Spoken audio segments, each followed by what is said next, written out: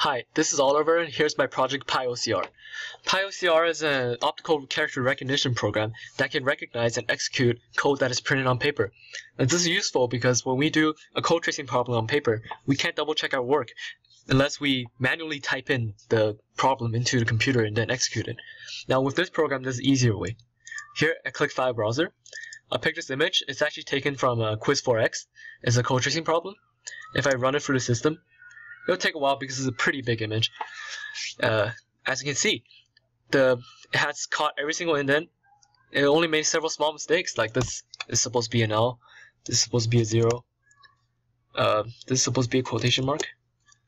Uh, looks good. So if I click execute code, there, there's the output. So then you can easily double check your mistakes, and this took much shorter time than if you would have keyboarded it into the computer.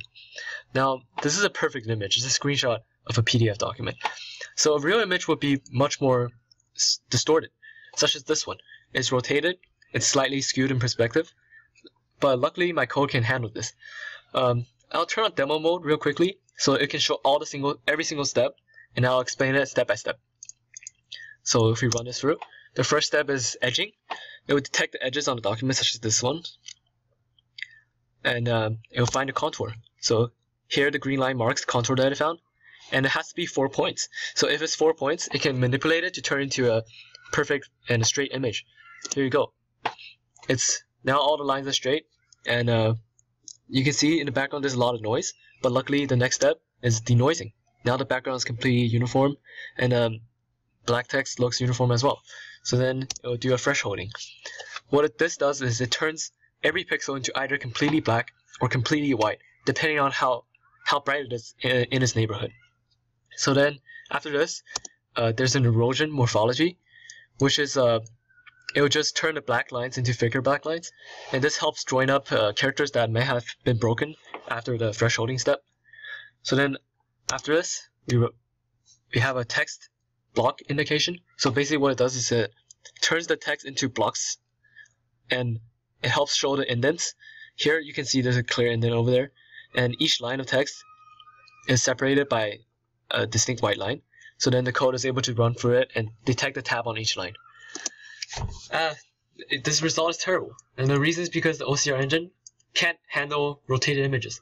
Luckily, we have a rotate image button, and we can just click it to rotate it into the proper orientation. So here you go.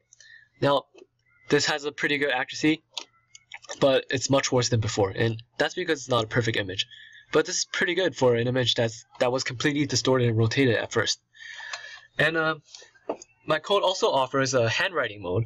It's it's pretty bad because uh, I did not have a really large training set and it's only recognizing my own handwriting. But if you turn on the handwriting mode, it can actually do okay with an image like this one. As you can see, it's not uniform, it's not straight. The characters are very squiggly, and I have a bad handwriting. Bad handwriting. And if I run this through, um, let's see. Uh, it did okay. I mean, it's not it's not great, but with more training data, it can do better. So that could be a future improvement.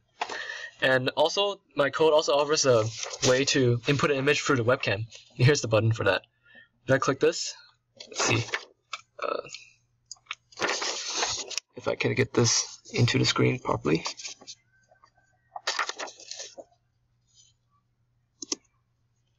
Let's see if we can detect the edges.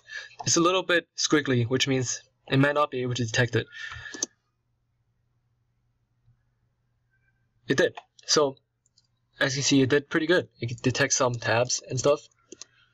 And, um, I mean, some of the indentation is off, but overall, it did pretty good from an image that's taken directly from a low-quality camera. So as you can see, this project is probably better to be on a mobile platform, and because then you can take a photo easily with your phone. So that might be another future step. So that's it. Uh, thank you for watching this video.